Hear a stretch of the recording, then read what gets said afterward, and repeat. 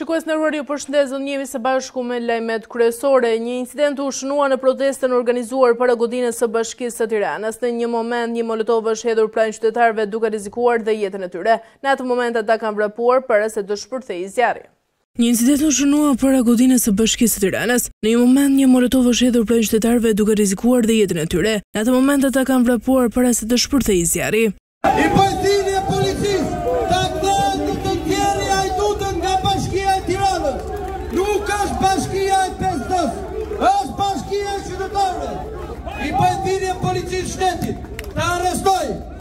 Erion Veliaj dhe hajdutët që ka pas tij. Të arrestoni atë që vjedh fëmijët tuaj, që u vjedh rrogat tuaja. Të arrestoni Ndrecat që u vjedhin ju paratë. Të arrestoni kriminelët e banditët që janë sot të lirë, që janë sot të lirë. Ndërkohë që kërkoni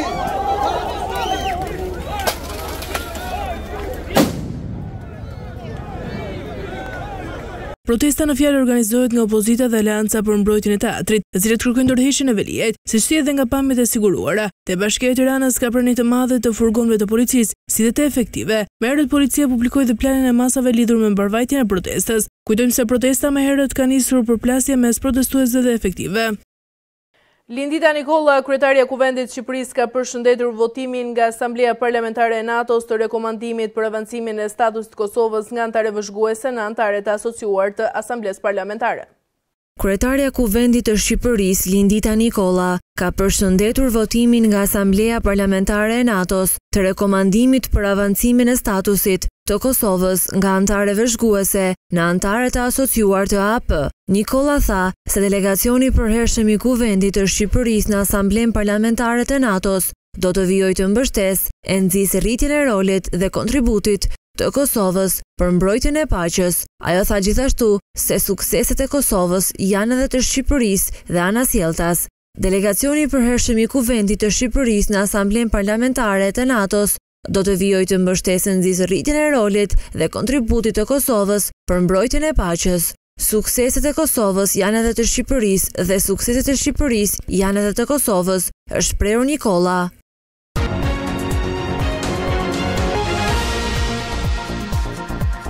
SPAK ka zbardhur atentatin ndaj ish-prokurorit Arjan Ndoja dhe ka dërguar për gjykim grupin kriminal që organizoi atentatin ndaj ish-prokurorit ku mbeti i vdekur shoferi i tij Andi Maloku.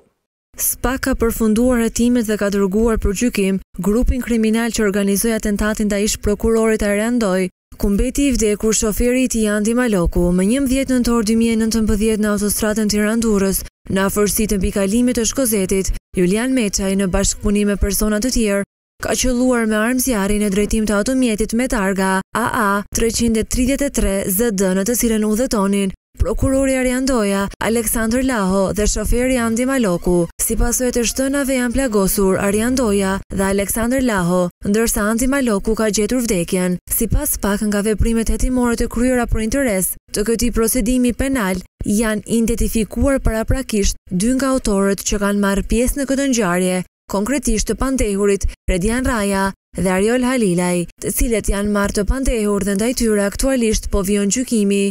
pranë Gjykatës së Posaçme, ndërsa janë veçuar aktet për identifikimin e bashkëpunëtorëve të tjerë të cilët kanë marrë pjesë në këto ngjarje. Spak ka zbuluar dhe autorët e hedhjes së eksplozivit në hotelin Victoria i cili është në pronësi të Luan Matës, babait të akuzuarit si bos i kokainës Ervin Mata, ngjarje e ndodhur më 30 maj të vitit 2020. Spak zbulon dhe autorët e hedhjes së eksplozivit në hotelin Victoria në Tiranë, ngjarje e ndodhur më datën tridhjetë maj të vitit dy mijë e njëzet. Hoteli është në pronësi të Luan Matës, babait të akuzuarit si bos i kokainës Ervin Mata, i shpallur në kërkim pasi akuzohet si pjesë e një grupi kriminal që trafikonte drogë dhe planifikonte vrasje, ku u arrestua dhe ish-zëvendës drejtori i Policisë së Tiranës, Erzen Breçani. Sipas spak Ramazan Rraja akuzohet se ka kryer veprën penale në bashkëpunim me të pandehurin Plaurent Dervishaj dhe Julian Meçaj. Nga shpërthimi i tridhjetë majit për fat të mirë nuk pati të lënduar vetëm dëme materiale. Ish-anëtari i bandës së Durrësit Julian Meçaj është arrestuar në shkurt të vitit dy mijë e njëzet e katër nga policia në Dubai. Gjykata e Apelit ka lënë në fuqi vendimin e shkallës së parë për ish-drejtorin e IT-së në Policinë e Shtetit Ervin Muca, pasi ky i fundit kërkoi që hetimi ndaj tij të vijonte në gjendje të lirë me argumentin se nuk ka kryer shkelje të ligjit. Ervin Muca akuzohet për kopjimin pa autorizim të të dhënave të sistemit TIMS. Gjykata e Apelit ka lënë në fuqi vendimin e shkallës së parë për ish-drejtorin e IT-së në Policinë e Shtetit Ervin Muca. Apeli la në fuqi masën e arrestit në shtëpi për Mucën, pasi ky fundit kërkoi që hetimet ndaj tij të vijonin në gjendje të lirë, me argumentin se nuk ka kryer shkelje të ligjit. Ervin Muca akuzohet për kopjim pa autorizim të të dhënave të sistemit TIMS, gjatë kohës së tij si drejtor i IT-së në Policinë e Shtetit. Prokuroria e Tiranës njoftoi më datën nëntë prill, marrjen në hetim të Ervin Mucës, në cilësinë e drejtorit të IT-së në Policinë e Shtetit për veprën penale, Hyrje e paautorizuar kompjuterike. Menjëherë ai u shkarkua nga detyra që mbante prej drejtorit të përgjithshëm, Muhamet Rrumbullaku. Për këtë çështje është ngritur dhe një komision hetimor parlamentar, në të cilin dëshmoi dhe Muca pa praninë e kamerave. Drejtoria e Përgjithshme e Tatimeve ka sqaruar se bizneset që nuk ofrojnë shërbime profesionale sipas përcaktimeve të vendimit me listën analitike, por ndërkohë figurojnë të regjistruara si shërbim profesional duhet të përditësojnë online kodin ekonomik të aktivitetit. Drejtoria e Përgjithshme e Tatimeve ka sqaruar se bizneset që nuk ofrojnë shërbime profesionale sipas përcaktimeve të vendimit me listën analitike, por ndërkohë figurojnë të regjistruar si shërbim profesional duhet të përditësojnë online kodin ekonomik të aktivitetit. Nga bizneset gjetja e kodit ekonomik në përputhje me listën e miratuar nga Këshilli i Ministrave verifikohet lehtësisht në e-filing në rubrikën ku deklarohen tatimet, ndërsa ndryshimet bëhen online ndërpërmjet e-Albania. Me ligjin e ri për tatimet mbi të ardhurat nga janari dy mijë e njëzet e katër, do të tatohen dhe disa profesione aktiviteti i të cilave është me qarkullim vjetor deri në katërmbëdhjetë milionë lekë. Cilat janë këto profesione, mjekët, juristët, inxhinierët e IT-së, avokatët, dentistët e tjerë që ofrojnë shërbime profesionale, pavarësisht formës ligjore përfshirë të gjitha kategoritë.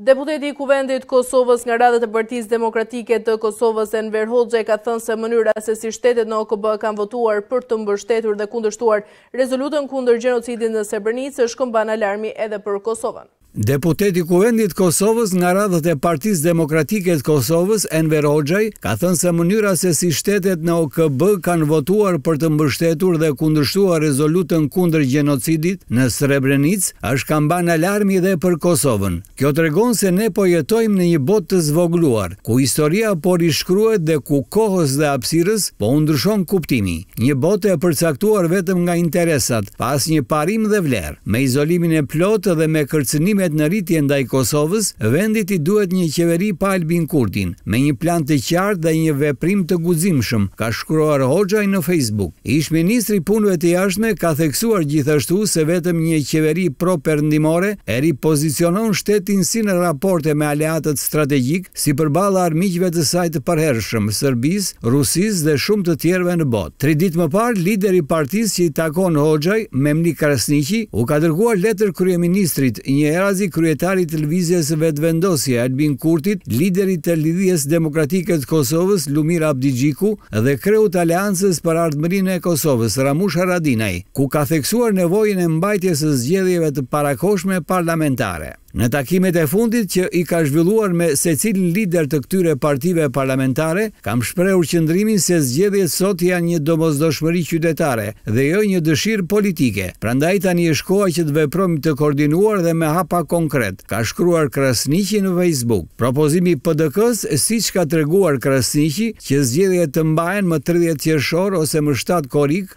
është për shkak të afateve ligjore dhe kushtetuese për të arritur njërën nga këto dy data. Mocioni procedural për shpërndarjen e Kuvendit të Kosovës do të duhej të votohej më së largu deri më njëzet e nëntë maj. Ramush Haradinaj ka hedhur akuza të rënda ndaj kryeministrit të Kosovës Albin Kurti, për të cilin ka deklaruar se është agjent i rekrutuar i shërbimeve serbe.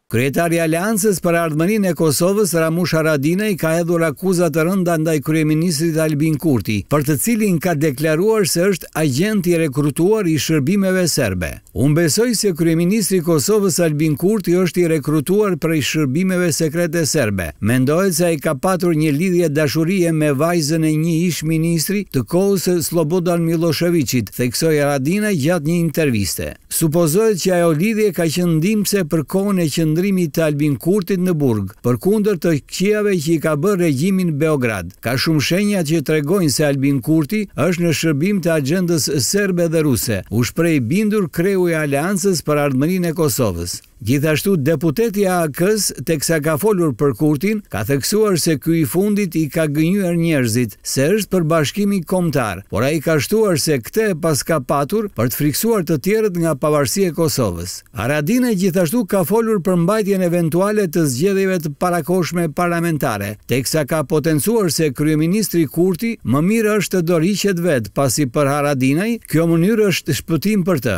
Dëshira jonë për të shkuar në zgjedhje është me shkarkimin e tij, për fajet dhe humbjet që i ka shkaktuar Kosovës, potencoi Ramush Haradinaj. Autoritetet serbe kanë vendosur të thërrasin rezervistët për të marrë pjesë në një stërvitje masive ushtarake, kjo sepse ata kërkojnë që vendi të jetë më i përgatitur për një emergjencë të mundshme kombëtare. Autoritetet serbe po thërrasin rezervistë për të marrë pjesë në një stërvitje masive ushtarake, në mënyrë që vendi të jetë më i përgatitur për një emergjencë të mundshme kombëtare. Mediat serbe citojnë analistin ushtarak Aleksandar Radic, të thotë se ky është një vendim i arsyeshëm pasi nëse ndodh në një krizë, reagimi mund të jetë i vonshëm. I pyetur se përse serbët do duhej të trajnoheshin për luftë, duke qenë se vendi është rrethuar kryesisht nga anëtarët e NATO-s, Radic u përgjigj se kritikat janë të parëndësishme, duke konsideruar këtu edhe situatën gjeopolitike. Vendi do të jetë i përgatitur për çdo skenar, ku do të ishte Ukraina nëse nuk do të kishte shërbim të detyruar ushtarak dhe nuk do të kishte trajnuar rezervistët e vet, deklaroi analisti ushtarak. Ndërkaq, presidenti i Serbisë Aleksandar Vuçiç ka thënë se ministri i Punëve të Jashtme të Bosnjë-Hercegovinës, Elmedin Konakoviç, ka bërë thirrje indirekte për vrasjen e tij. Vuçiç ka komentuar deklaratat e Konakoviç, në të cilat ka përmendur se Vuçiç duhet të vijë në Srebrenicë më njëmbëdhjetë korrik ose në OKB ku do të përkujtohet përvjetori i gjenocidit. Vuçiç e interpretoi këtë si thirrje për vrasje. I lexova ato deklarata, por nuk munda t'i shikoja. Do të shpjegoj në disa pika. E para është se fajin për gjithçka e ka Vuçiç, që sipas tyre është mirë. E dyta është se ata janë kaq të nervozuar me rezultatet e votimit, që Konakoviç guxoi të thërriste për vrasjen time, tha presidenti serb Aleksandar Vuçiç. Konakoviq deklaroi se presidenti i Serbisë, Aleksandër Vuçiq, mund të vijë me ose pa flamur, me njëmbëdhjetë korrik në Srebrenicë ose në OKB. Kam qenë në Srebrenicë me njëmbëdhjetë korrik, kam përkulur kokën para momentumit, por jo para gurëve, shisheve dhe këmbëve. E falënderoj për atë thirrje të më vrasin nëse përgjigjem dhe vritem, dije se fajin e ka Konakoviq, tha presidenti i Serbisë, Aleksandër Vuçiq.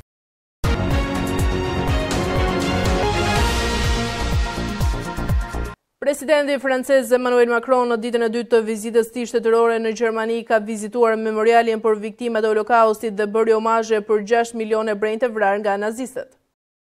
Në ditën e dytë të vizitës tij shtetërore në Gjermani, presidenti francez Emmanuel Macron vizitoi memorialin për viktimat e Holokaustit dhe bëri omazhe për 6 milionë hebrenjtë e vrarë nga nazistët.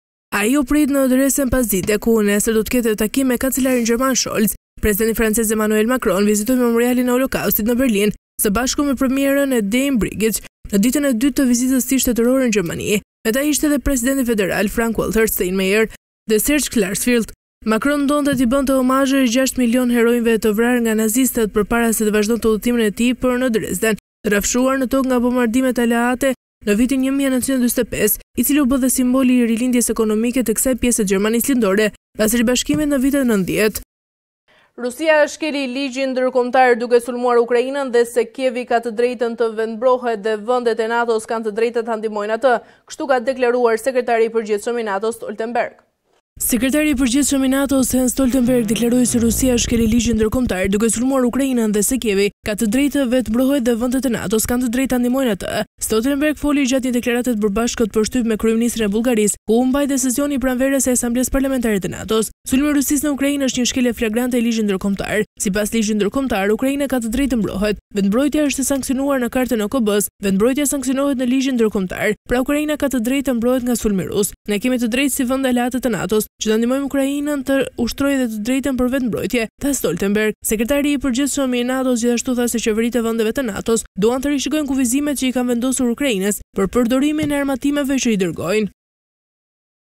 Presidenti i Ukrainës Volodymyr Zelensky mbërriti të hënën për një vizitë në Madrid, ku pritet ta nënshkruajë një marrëveshje dypalëshe për sigurinë me Spanjën. Zelensky do të mbajë takim me kryeministrin e Spanjës, Pedro Sanchez para nënshkrimit të marrëveshjes për sigurinë, raportojnë mediat spanjolle.